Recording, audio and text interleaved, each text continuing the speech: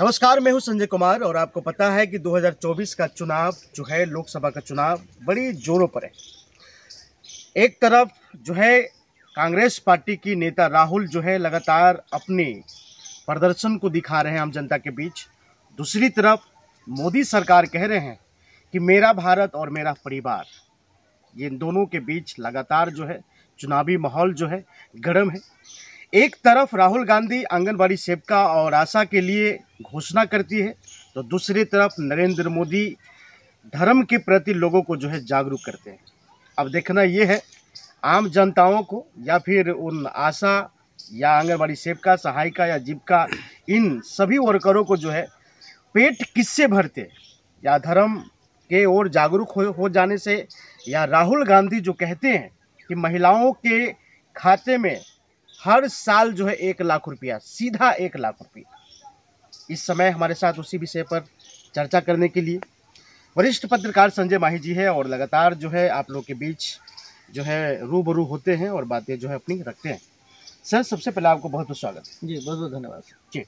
Sir एक तरफ़ राहुल गांधी एक लाख रुपये महिलाओं को जो है दे रहे हैं। महिलाओं में भी जो है करोड़ों महिलाएँ की बात हो रही है।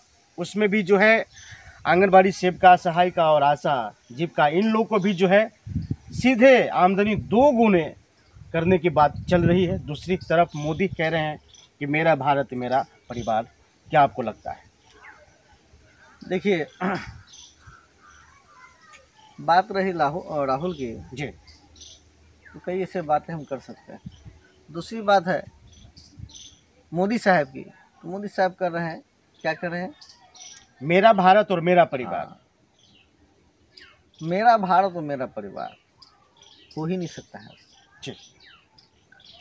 कौन होगा जो अपनी माँ को बेच देगा जी। कौन होगा कि अपनी माँ की संपत्ति को बेच देगा जी। कौन होगा जो राम को बेच देगा जी। कौन होगा जो इस देश के तमाम कण के विभाग जहाँ से खुशबू आती है हमारे इस देश की उसको बेचते आपने एक ऐसे कौन सा क्षेत्र देखा जिसको आपने ठीक कर दिया और आपने दिया? जी। तो आपका परिवार कैसे हो सकता है? मैं बेचने वाला का परिवार का मैं सदस्य नहीं बन सकता। जी। उन्होंने कहा कि 140 करोड़ हम मोदी का परिवार। जी। 140 करोड़ में तो हम भी एक सौ चालीस करोड़ में तो आप भी हैं। जी। मैं तो बेचने वाला के परिवार से नहीं हूँ। अगर आप हैं तो आप स्वीकार के मैं बेचने वाला का परिवार का सदस्य नहीं हूँ। दूसरी बात, इस देश में वादी और नारेबाजी बहुत होते हैं। आप ही ने तो कहा था, बेटी बचाओ, बेटी पढ़ाओ। आपने इस देश की बेटियों को धमकी दिया माँ बाप को धमकी दिया कि बेटी को बचा लो, नहीं तो रेप हो जाएगा। बेटी को पढ़ा लो। कैसा पढ़ा लो? घर स्कूल में जाएगी और उसी का रेप हो जाएगा, उसी का मर्डर हो जाएगा। ऐसे धमकी। तो इसको नारा आपका नारा समझा स्वाभिमानी नारा समझाओ या मैं अब इसका भयभीत करने वाला नारा समझू जी आपने कहा था प्रत्येक वर्ष दो करोड़ नौकरी देंगे। आपने कितना नौकरी दिया? जी। आपने कहा दो को दो सौ दो करोड़ रोज़गार देंगे।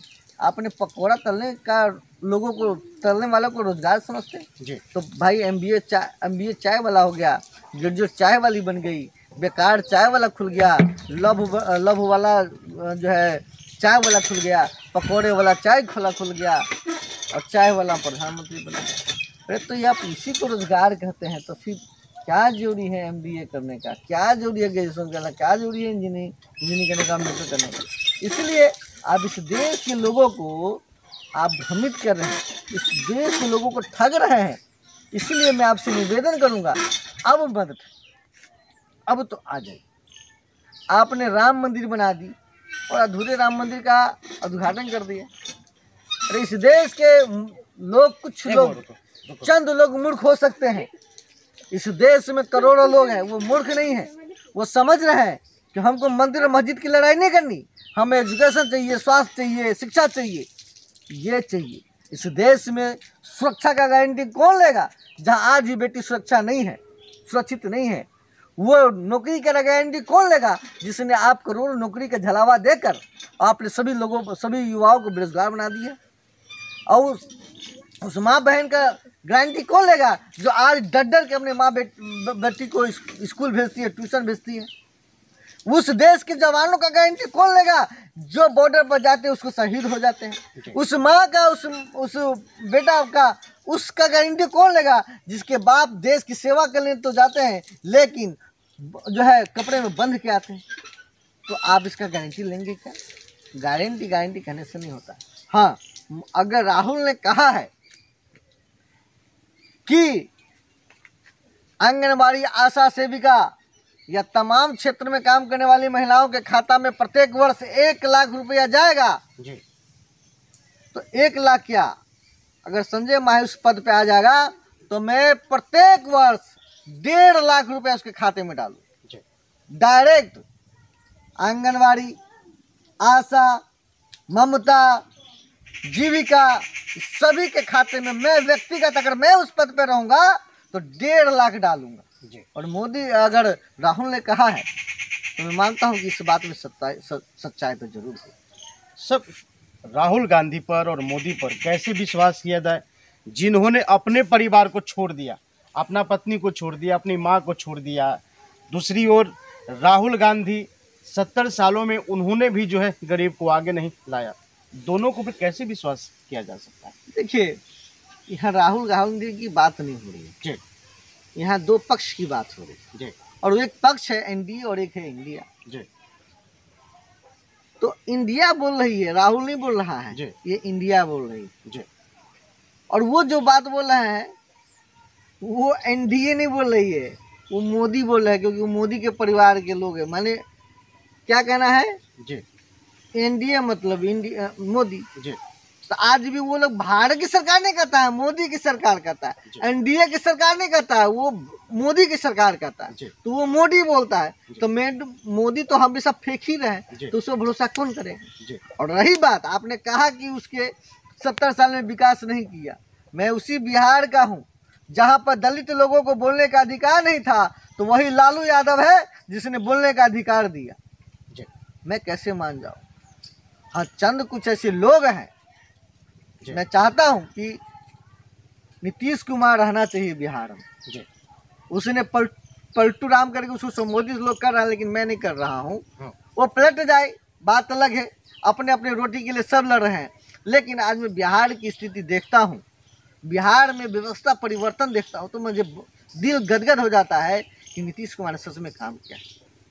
इसलिए नीतीश कुमार होते तो वो भी होते तो इंडिया में होते तो अच्छा लगे लेकिन वो पद के लालच से गया अब समझिए जो आदमी प्रधानमंत्री का उम्मीदवार था और झांसा में ला के उसको मुख्यमंत्री पर रख दिए जी। तो हम तो कहते हैं कि कहाँ गए नीतीश बाबू? आज आप उसका चाल नहीं समझ पाए।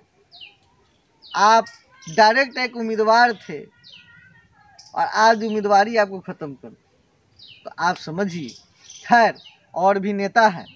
जी। तो उस समाज को समझना है जी। कि इस देश में आपको क्या करने जा रहा है। जी। वही माझी था जो डायरेक्ट ब्राह्मण को सवर्णों को गाली देता था। आज उसी के गोद में बैठा है। क्यों? क्योंकि अपना उसको सीट से बचाना है। अपना पद बचाना है आपका बेटा को बचाना है। तो दूसरी तरफ़ अगर बात करें तो सर महिलाओं को आगे बढ़ाने के लिए प्रधानमंत्री मोदी भी बात कर रहे हैं राहुल गांधी भी बात कर रहे हैं। फिर भी महिलाओं में जो है आज धरना प्रदर्शन की नौबत आ गई। महिला को रोज़गार नहीं मिल रहा है है ना? उनके सम्मानजनक वेतन नहीं मिल रहा है। लगातार जो है महिला रोड पर है और दोनों जो है दोनों पार्टी महिलाओं को ही आगे बढ़ाने की बात करता है। तो एनडीए का विरोध करना होगा ना जिसकी सरकार उसकी विरोध करना होगा। आज उसी ने तो छलावा किया। दस साल में आपने किया क्या? आपने इस देश की संपदा को बेचा है। आपने महिलाओं को ठगा है। जो महिला दिन रात काम करती है उसको तनख्वाह जो है आप एक मजदूर का भी तनख्वाह नहीं देते हैं। आप आपको तो इस बार मौका मिला है। मैं तो कहता हूँ तमाम महिलाओं से कि मौका है इस बार। वैसे सरकार को फेंको। और उजाड़ के उस महिला को फे उस सरकार को फेंक दो जो तुम्हारे साथ छलावा किया है। जी। आपके उस विचार को खंडन किया है उस विचार को तहस नहस कर दिया है वैसे लोगों को वैसे लोगों को सत्ता से बाहर कीजिए।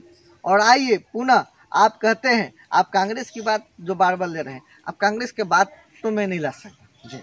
मैं इंडिया की बात कर रहा हूँ।